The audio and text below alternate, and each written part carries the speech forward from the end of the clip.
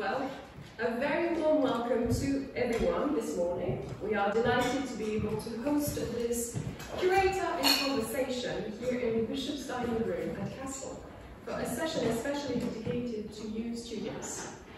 Perhaps some of you joined the Castle lecture yesterday evening, either in person in the Great Hall or online, when we had the immense pleasure of hearing Dr.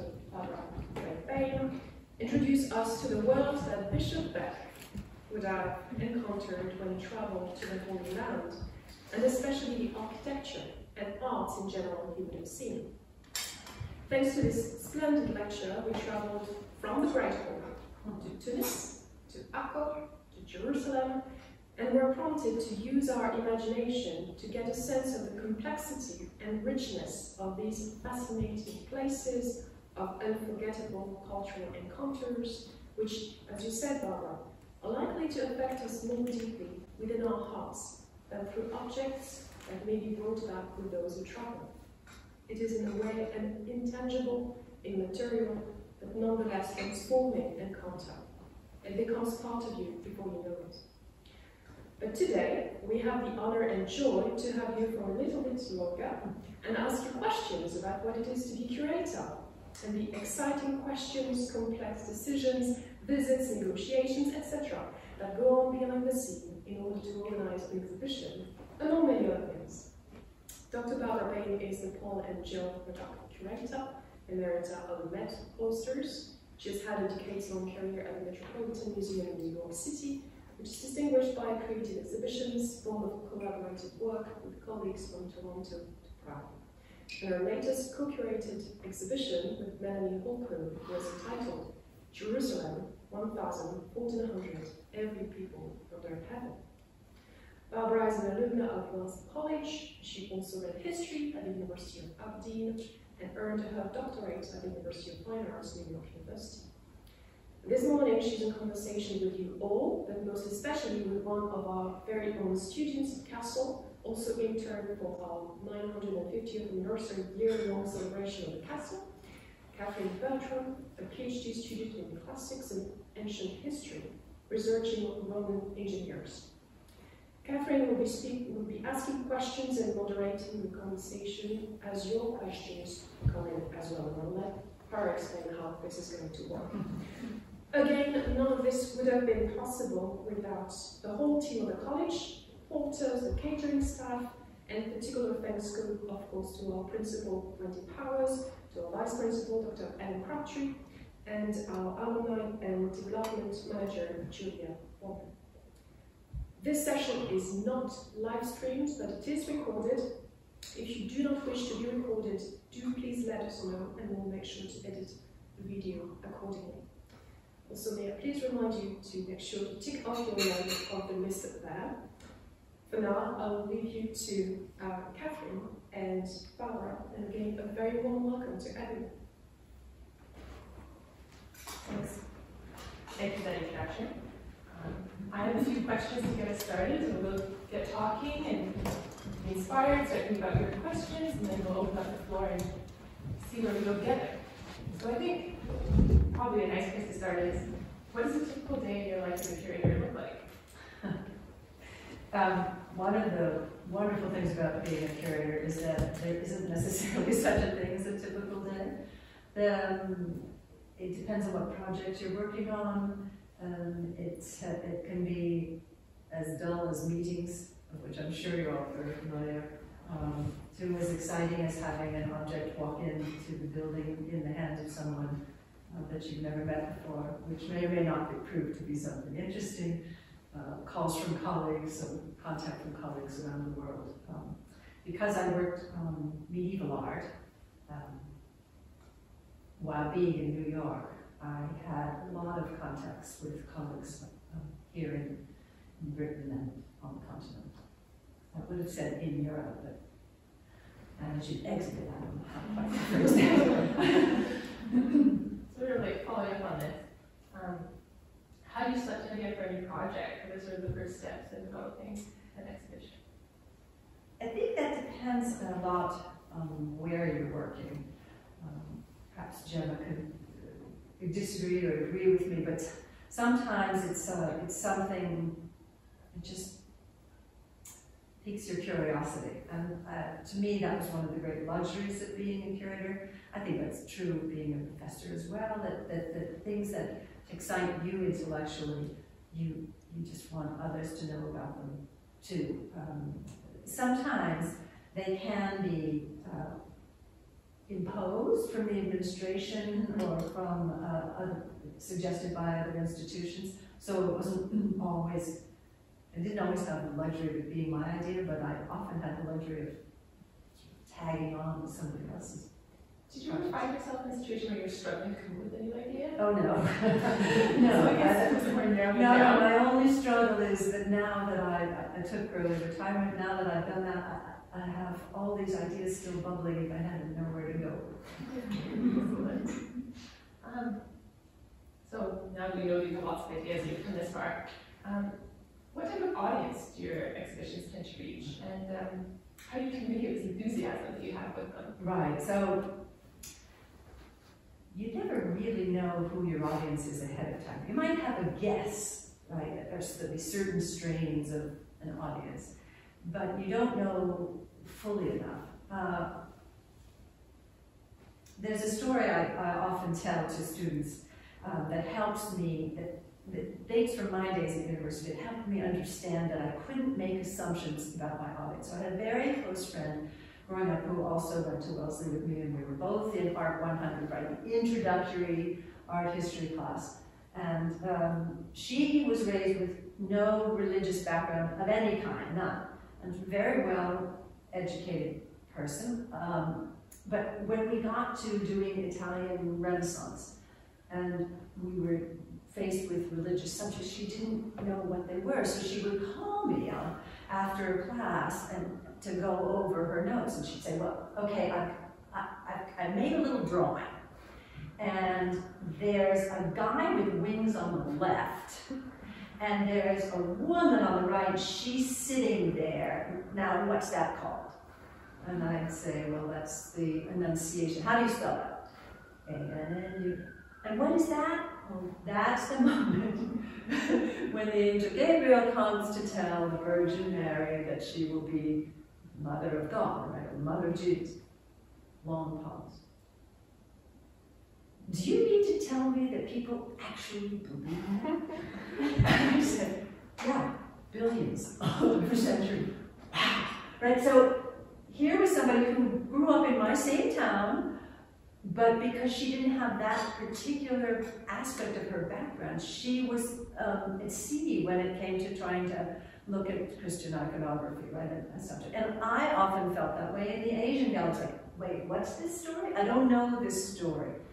But that doesn't leave you out because I believe that really great art can communicate across that gap, right? So a scene of an Annunciation might represent the moment of, of surprise or of awe or of what's happening here, you know.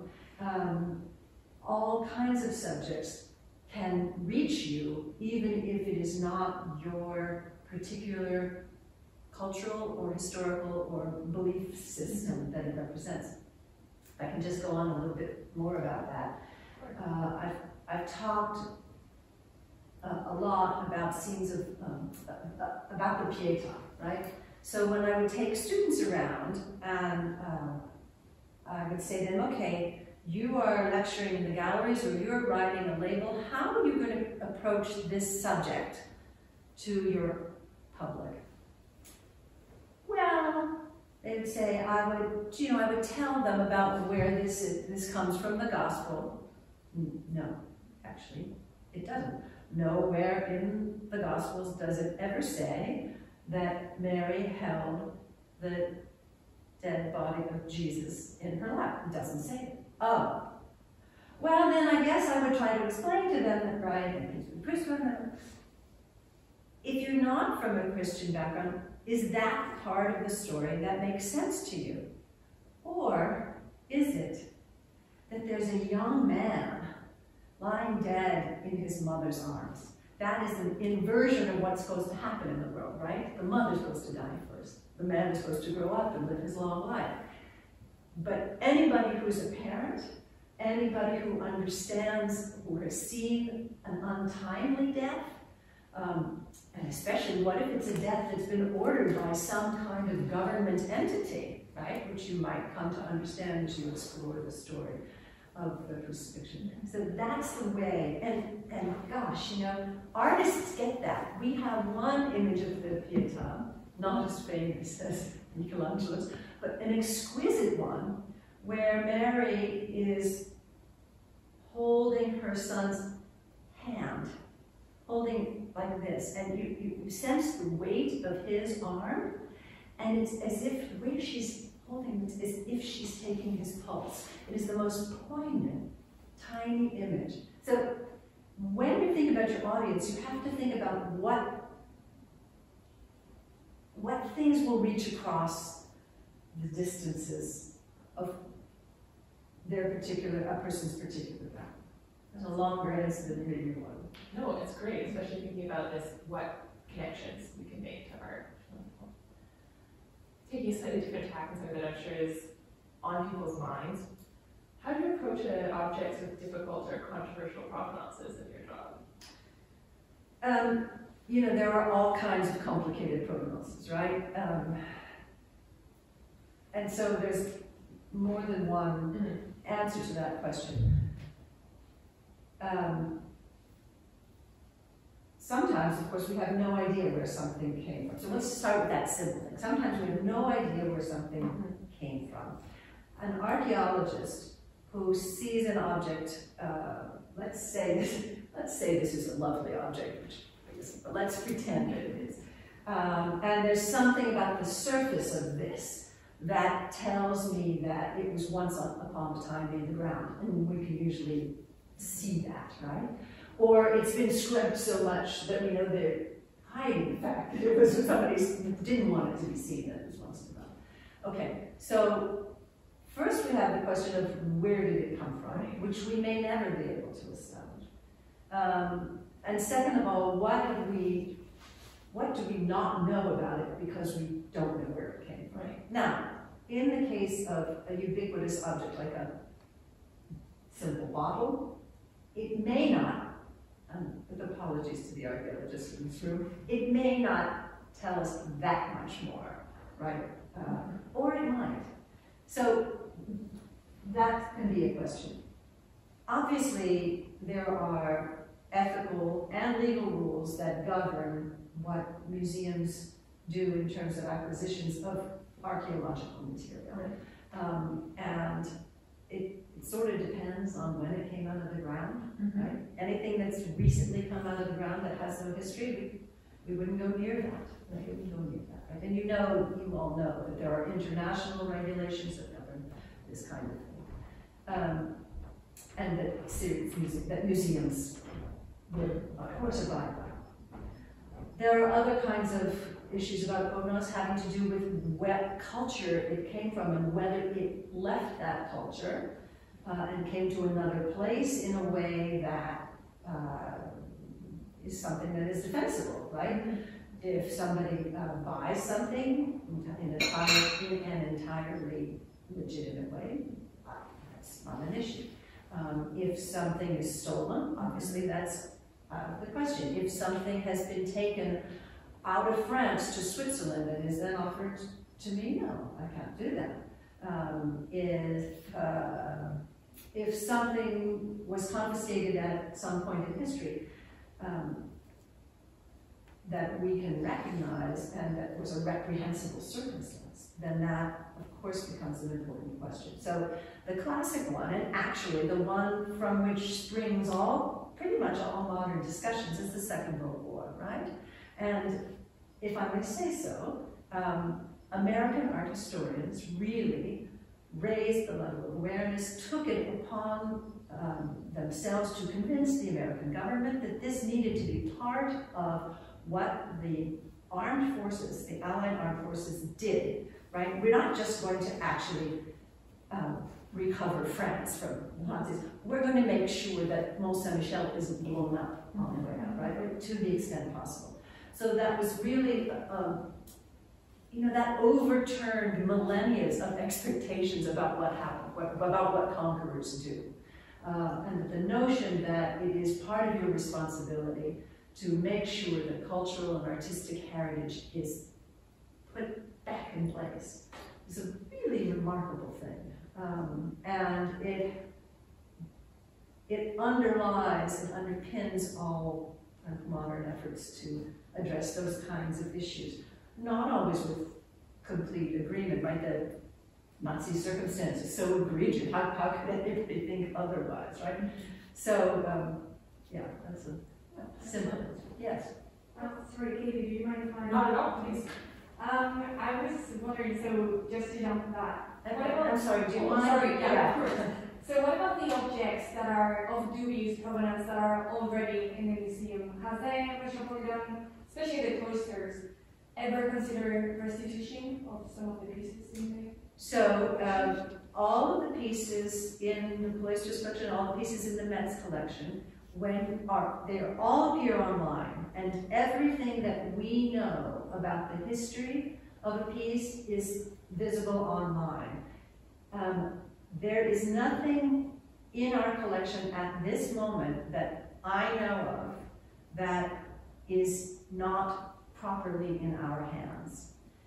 If there were, I would be, um, it would be incumbent upon me to address it with the legal department at the museum.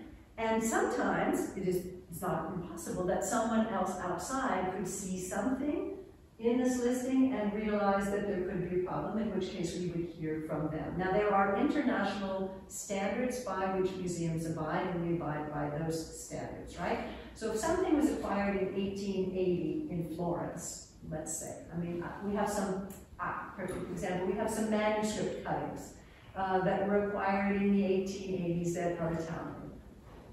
I know that some American bought them in Florence at that time. I also know, historically, that those choir books were taken out of the monasteries because the monasteries were secularized under Napoleon, and people were selling off pages from the very, from the Napoleonic, beginning in the Napoleonic era. That's also true of many uh, museums in Britain, for example. Uh, Fitzwilliam has a lot of such uh, cuttings, so does the V&A. Um, those no longer had a function where they were. We don't know exactly who broke up the books or who sold them. Um, those institutions don't even exist anymore.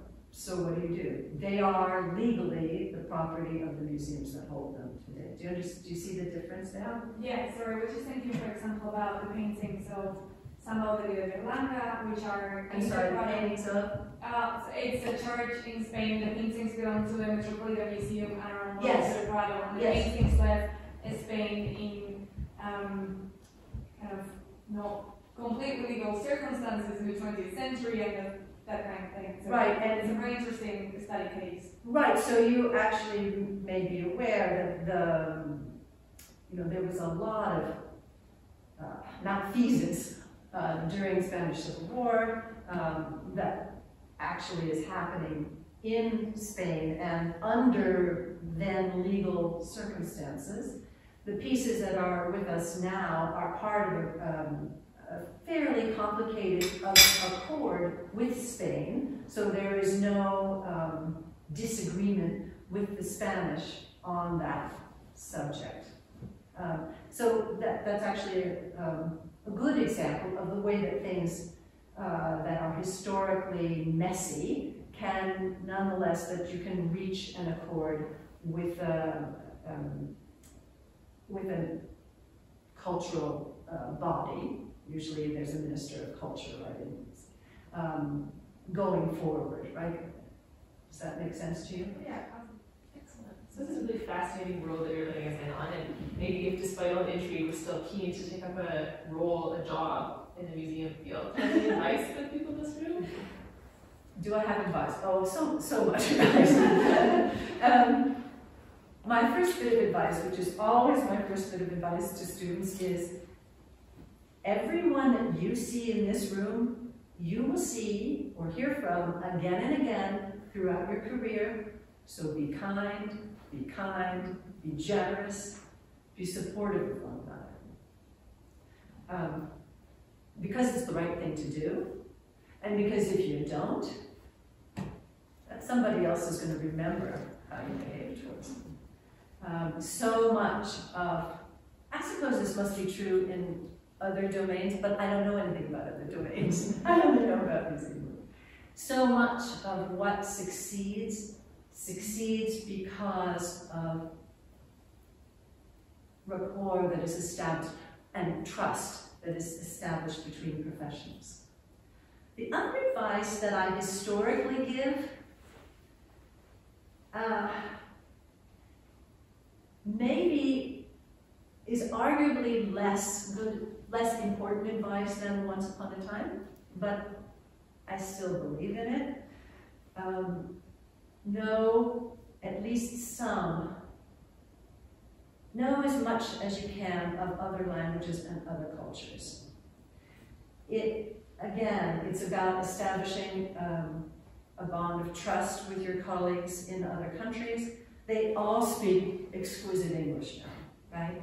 When I, when I first started working and I would go to Spain on business, I didn't speak Spanish and they didn't speak English and we would speak French together. And that was the same thing, same thing in Poland. So we had a language that we could find between us. That's pretty much not the case anymore. Everybody speaks exquisite English. And probably better English than I could ever hope to speak another language. But um, but it's it's a it's a bridge. It's a it's a really important bridge, and sometimes things will happen that you'll actually understand some subtly because you'll hear a colleague say something even when you're not in direct dialogue. That lets you see that uh, you have work to do to have them understand why your project is important or some of the subtleties of what you're looking at. So I guess those are the two differences. Excellent. Do you have any questions from the room? Um, how close is in a average, um, like you mentioned that there isn't really an average day, but in the working relationship between conservator and curator, how close is the connection and relationship between individuals on that level and how do they interact with each other, especially at the Met? Right, that's a really um, wonderful question, and the answer at the Met is probably different from the answer in a number of other places. Then, you know, I had the great luxury of having a team of conservators in all domains, experts in all domains. So we have a textile conservation department, a paper conservation department, uh, a paintings conservation department, an objects conservation department, and then uh, there are conservation, you know, there's a spe special photography conservation department, which doesn't apply to me, but you, you, you, take my point. And there are, there are experts in each of those domains at the Met. Most museums don't have that um, bandwidth, I guess is what you would say today, right? And some institutions don't have conservators on staff at all, so it's all it's a question of an outside contractor. The French museums, for example, they may work repeatedly with the same textile conservator, but they're usually not on staff. They're, con uh, they're contractors. It doesn't make them less good conservators, but it, the facility of dialogue that conservators and curators have together at the Met is uh, is a, an amazing thing. And so in my particular um, career, there were a number of projects that I did where a conservation aspect was absolutely integral to the uh, project as I designed it, right? And so I had very close collaborations.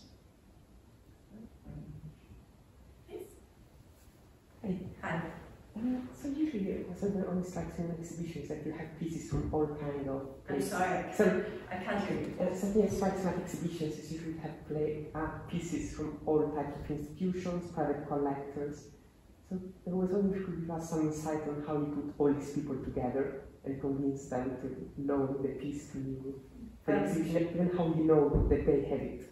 Ah, so your so your interest is specifically in private collections or both private and public collections? How do you find the pieces that you're going to use? I suppose private collections is a bit more complicated, so I suppose it's a little Um, more insightful. Right. Uh, are they more complicated? Not necessarily at all.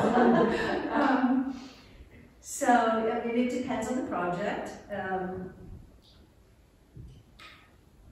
most projects you start from a kind of core of objects that you're aware of because they've been published in, you know, maybe they were exhibited 40 years ago or something like that, right? Which probably seems like an eternity to you. Um, and then you, then you have to start digging and talking to people, and that's a really fun part of the research.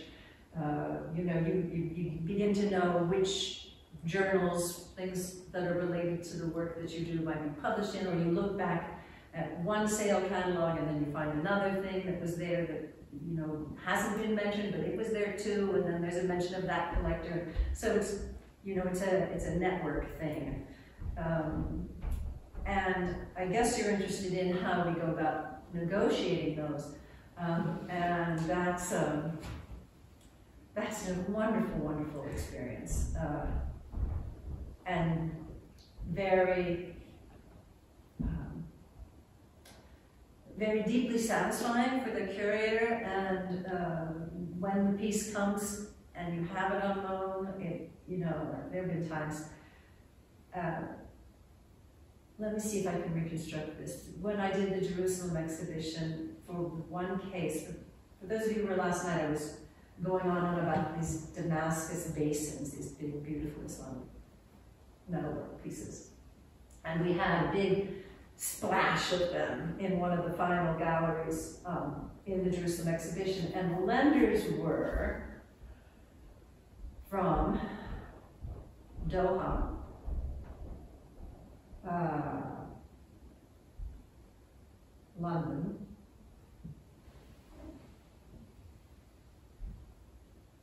And the Israel Museum. No, maybe it wasn't the Israel Museum, it might have been a different museum, but in, in Israel. And one other. So the installation of that case, you know, gonna have an object of that importance, the owner is often there to supervise, right, so that they make sure that you're doing it properly, that your case conditions are what they should be, and so on. So they're all standing there, right? So I have a woman from Doha, and I have a woman from Israel. People whose governments won't even speak, and they're there together, brought together by these works of art. Can I tell you, everybody was on the verge of tears. Because it was such a powerful moment about art as a language where cultures can meet and have the same kinds of goals. Was, was exquisite. Excellent. Thanks so much. Really fascinating to think about it. Can I just follow up a little bit, sort of practically, technically, do you end up like writing letters to people? Do you usually already know them before you get into contact? Is it cold calling? How does it unroll? Never cold call. Never, never, never cold call. Um, so, it depends on what rapport you already have with the lending institution. So if I want to borrow something from Boston, I will email or pick up the phone and mm-hmm. say, I'm doing this project, can we talk about it? They already know when I call them or email them that probably I'm wanting someone. I need them, they'll need me at another moment. It's that mm-hmm. part is easy. Except when you get into sort of tricky bits of conservation, at which point you are going to want to go see them, talk to them. Usually I would try and look at the, if the object is on show, I'll try to look at it first before the concert conversation so that I don't go in ignorant of what the issues around condition might be. You, you want to know as much as you can so you don't seem, especially in the case of, of a big institution, a big prominent institution like the Met, you don't want to look like daddy's calling up and you better do what I say, right? You can't be like that. You have to, um, you have to uh, uh, approach these things um, with showing the respect that you should already have for both the object that you want to borrow and, and your colleagues there. If you don't have that respect, you shouldn't be in the project, right? But to demonstrate it, right. Okay, so there's that. That's the easy stuff. That's your institutions you already know. Um, lots of times, because of the nature of my work, um, I would be borrowing from churches. Um, and so I would, um, I would either write ahead of time directly, or I would speak to someone. So for like, uh, for example, to be introduced to the Franciscans in Jerusalem, you know, like through the grace of God, I had a friend who was a Franciscan in New York who had been in graduate school uh, at the same time I was, because he had a collection at the uh, friary that he was uh, affiliated with. So, you know, I went to him for advice first, and he then contacted somebody, contacted somebody, and you know, the next thing I knew, I had a meeting in Jerusalem with the appropriate people. And then we had an, a number of meetings to, to get to know the Franciscans. And um, one of them was going to be, one of them wanted to tune in last night, but he registered, he tried to register too late for the lecture. but he'll watch it afterwards. And these are people that I still have, you know, I mean, it was only in 2016, but we are regular contact. Just keeps coming back to the importance of connections. Yeah, it's very important. Any other questions? Obviously, objects have biographies and narratives, and it's quite a personal uh, question, really. Um, obviously, there's the obvious ones, what it's made from, how it's made, who it belongs to. Obviously, underneath are the hidden narratives. Obviously, throughout your career, what has been the most poignant or most interesting object you've curated, and why did you have that connection, you think, with that object? Um, thank you for that question. Uh, we actually talked about That was this on my list. day. Um, first of all, there are uh, there are a number of answers I could give you, but let me. Um, there are two different ones I could give you. Uh, let's start with Dame. Absolutely. There we go. Um, so, this is uh, a story that starts at the very beginning of my career and goes straight through to today. So on the left-hand side is a head of King David from uh, Notre Dame, which entered the Met's collection in the 1930s, having previously been in several 19th century French collections. And on the right, do, do, does that, has anybody seen these objects? Anybody know what they are? So this is an amazing story. In the 1970s, I don't know the exact date, I'm going to say it's 1977-ish. Um, they were digging in Paris at a place called the, hmm, I don't know, it was a bank, uh, Banque something, ah, Banque Nationale de Commerce Extérieur. And they were digging, I think, to put in an air conditioning system for the bank. And as they dug to do that, lo and behold, these guys were underground. And they were all facing, lying with their heads facing towards, in the general direction of Notre Dame. Well, in, during the French Revolution, the more radical elements of the revolutionaries uh, came to the mistaken conclusion that the kings whose images appeared on the facade of the cathedral were in fact the kings of France, and we know what we were doing to the kings and queens of France at that moment. We were cutting off their heads. And so a government order went out, and all of the heads of the kings on the facade of Notre Dame were decapitated. You won't see that today because they've been replaced by Viollet-le-Duc in the 19th century.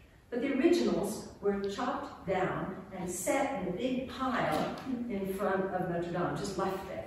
And masons and stuff could come along and, you know, take bits and pieces for, I don't know, house repairs or whatever. But some soul, we don't know who, carefully gathered up, and I don't remember the total number of heads, and carted them off and gave them decent burial, where they stayed until the 1970s, when by chance, thanks to air conditioning, heating, whatever it was, they were unearthed. So, um, someone in the French Cultural Ministry contacted the Met, wouldn't we like to exhibit these recent finds? And our then director, Philippe de Montebello, said, yes, thank you very much, we would. And so they came to be installed in the medieval galleries. I had just started working there, and I was working as a secretary there. I had not started graduate school yet.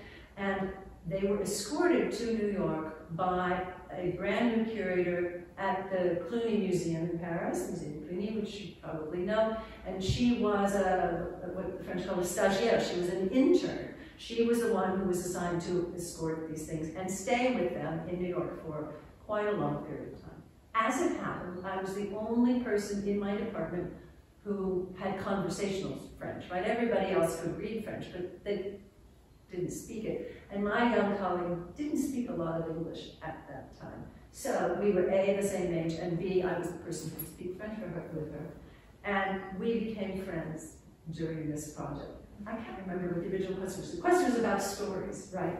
So these pieces were put together because the head that's in the Met had suffered the same fate, had been cut off. They were put together for the exhibition because they represented, um, you know, this great find and the, consequence, the consequences of extreme radicalism, right? Um, and so the pieces were together. These are now in the Musée de Cluny. Um, they were, uh, which you can't see right now, but it's reopening this spring. Um, and so, but the other story there is that she and I um, are, are still friends today. She was with me in New York the day that I went into labor with my second son. I've been to her children's weddings, her grandchildren's baptisms. We, we've been friends uh, since the 1970s.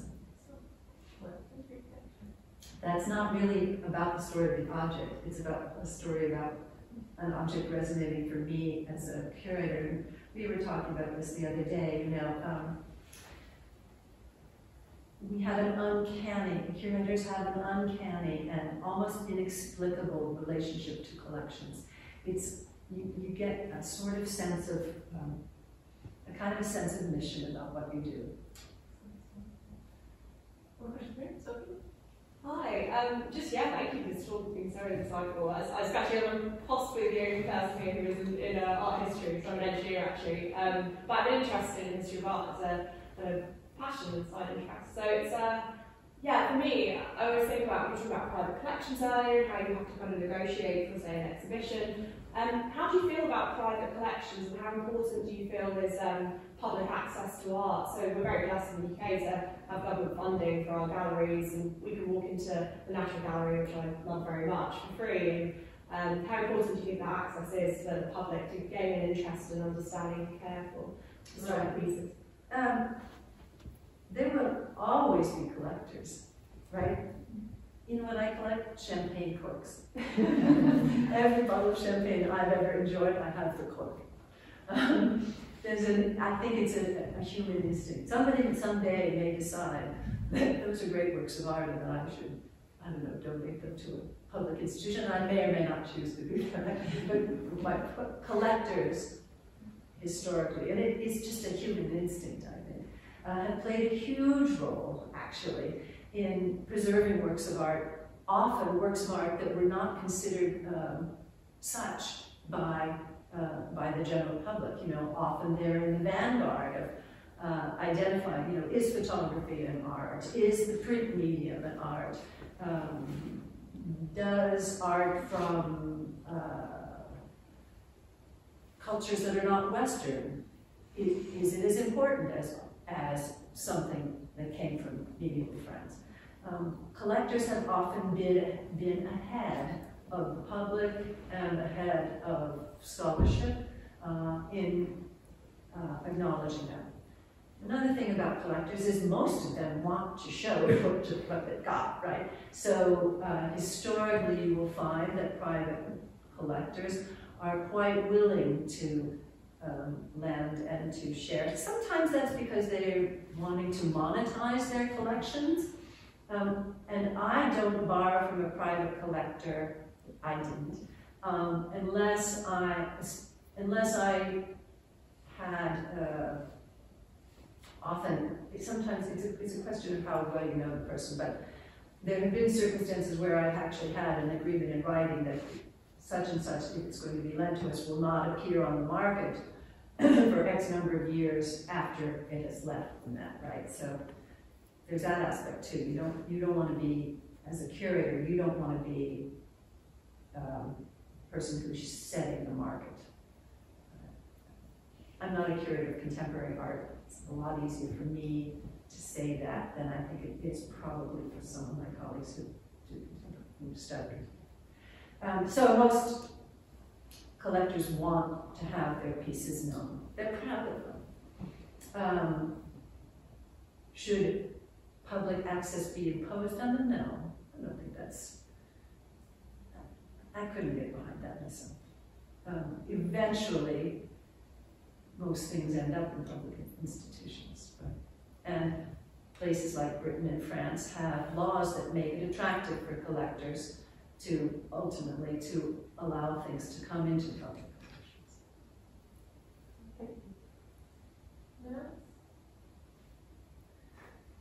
Lydia has the back. Um, Hi, thank you. Oh, you. This has been really interesting and absolutely fascinating. But I wondered if you could speak a little bit about the building of the Met cloisters itself, Hmm. because I had a Google. And You had a Google. yeah, I have Googled it, and I, I was, it's a stunning building. It looks very Venetian in design, and I just wondered, is, is that deliberate? And what is it like to work in a, in a building that is sort of built like that? Um, gosh, I don't think we were Venetian. I made that mistake. Sorry. Um, well, let me let me answer your question. I uh, huh. it's probably hard for the people in this room to wrap your heads around this. But when the cloisters was built, very few Americans could travel to Europe.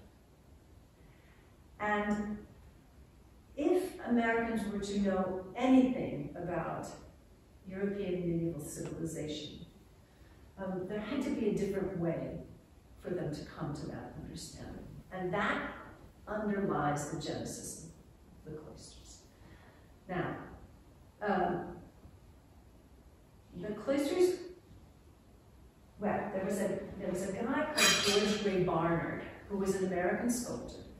Um, who had the advantage of uh, going to study, I think, at the École des Beaux-Arts in Paris.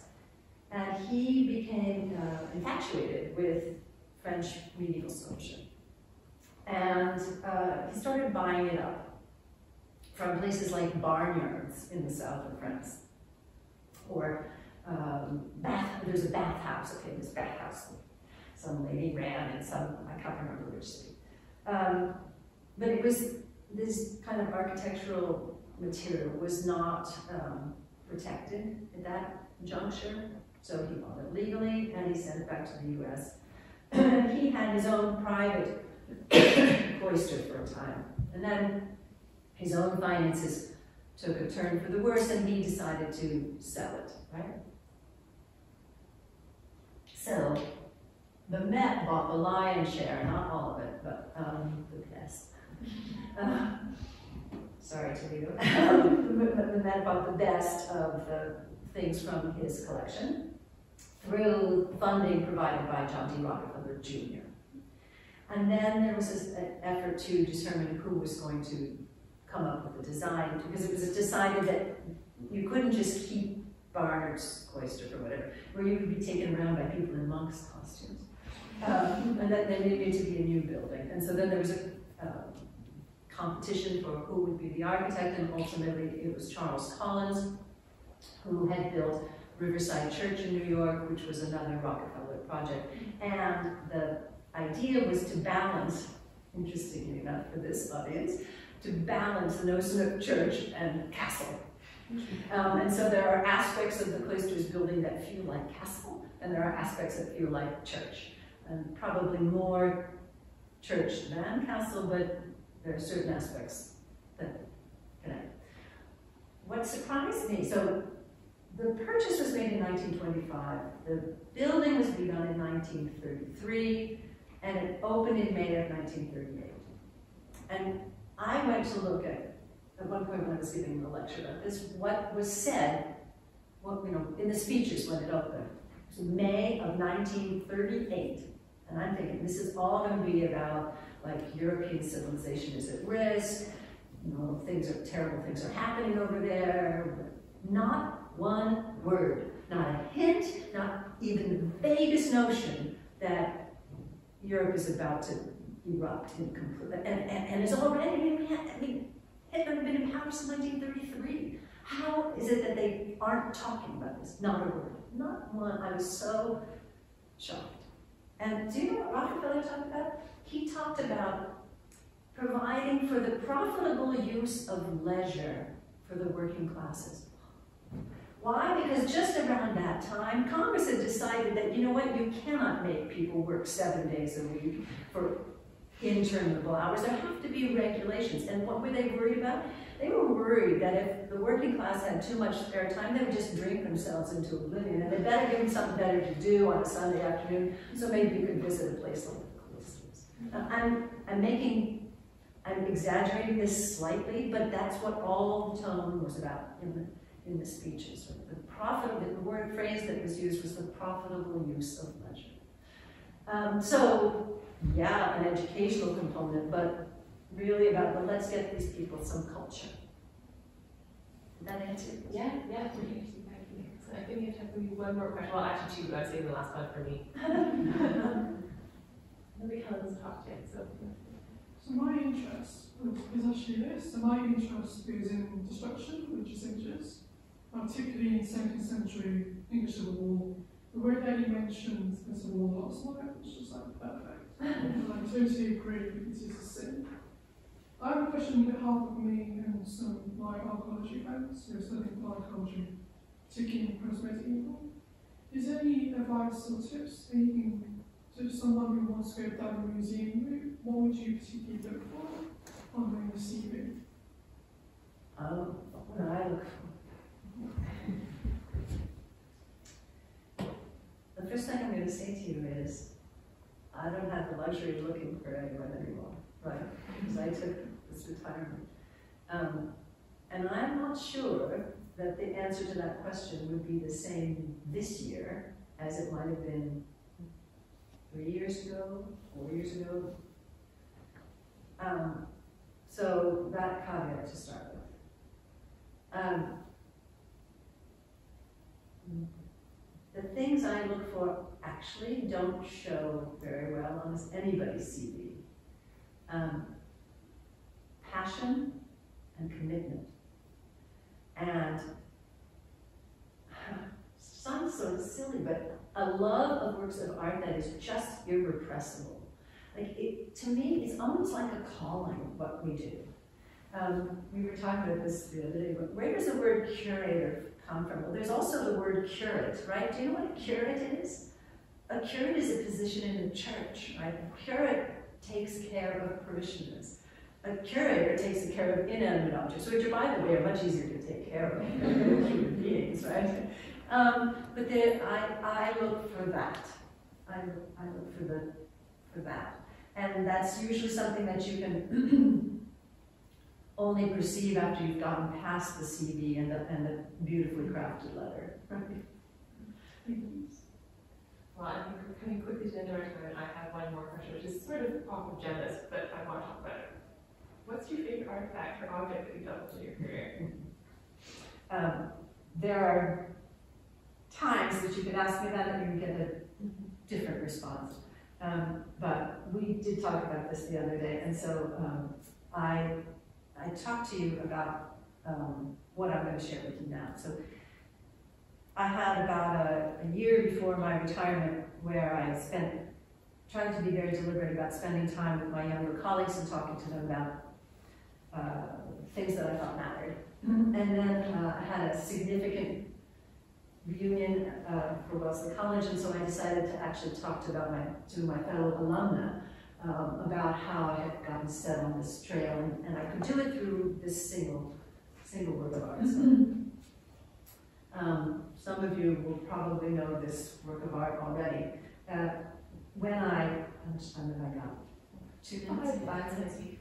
When I was in college, this was in Art 100. You know those classes, right? There's a guy kneeling at the left and there was a woman on the right. I Remember we talked about that? And this work of art was introduced to us as something very important. And from the point of view, really all they talked about was the formal analysis in those days.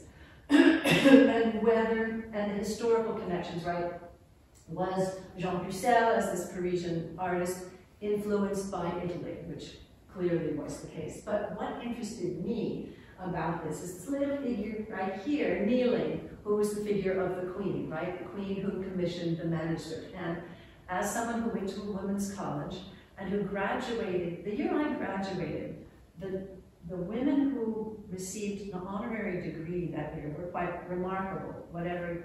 Um, so, for example, Barbara Jordan, who was one of the first American women congressmen, received an honorary degree that year. Um, Golda Meir was there to receive an honorary degree. And my name starts with B, so I was seated, you know, up, up close to the front. And I was really struck by these um, women who, whether you agree with their politics or don't, were really transformational in their, in their societies.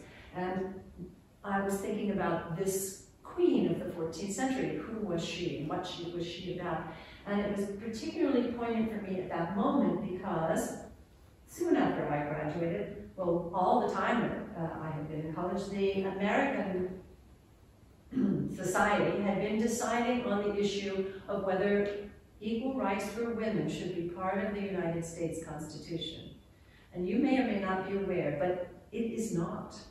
It had to be ratified by a certain number of states, I can't remember what the number is, within a certain deadline, or the whole thing would disappear. And it has never been ratified. It is actually still being discussed today. The deadline passed in the 1970s. still being discussed today about whether they can override the deadline because now there are enough states, but it's too late. Right? So I was in this strange position as a young woman starting out in my career of having gone to a women's college, knowing what women were capable of achieving, and yet being told by my very own government that, you know, really, you, you, you're not, right? So this work of art spoke to me already at that time because of that. Some years later, not very many years later, the AIDS crisis broke out around the world. It had a huge impact on the art world. Uh, there were people that I commuted to work with on the subway who succumbed to AIDS, who worked with me at the museum. So this manuscript came back to me again because this, was the, this is the image of St. Louis feeding a leper, right? So the idea that a saintly act was for someone who was king, right? To go and have the courage to feed a leper and not be afraid. And meanwhile, by the way, this was the time when the Princess of Wales was doing exactly that in this country. So this manuscript, again, was something that um, was resonant for me. I then worked on this manuscript for um,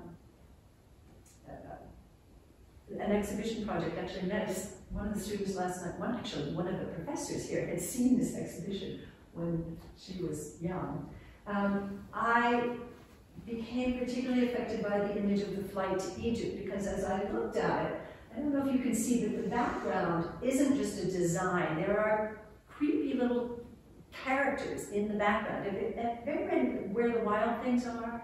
Well, there's, there's almost a Where the Wild Things Are aspect to the background. And I realized they were like bats and creepy things, and the, and the sky, you know, the field was a blue, and I thought, hang on, I think they're trying to show me that this is happening at night.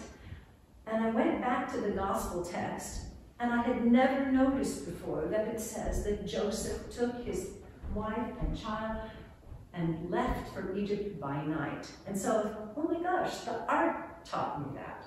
I had heard that gospel before, I never, never processed it.